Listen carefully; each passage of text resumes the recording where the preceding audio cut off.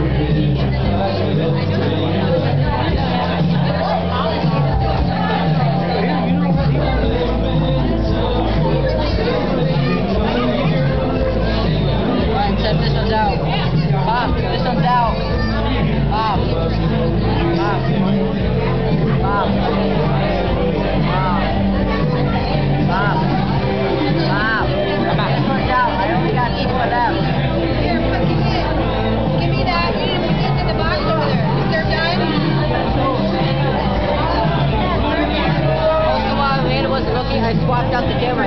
She has the one with only one picture left. Yeah, I know. but Thanks a lot. That's not nice. That's not her fault that you took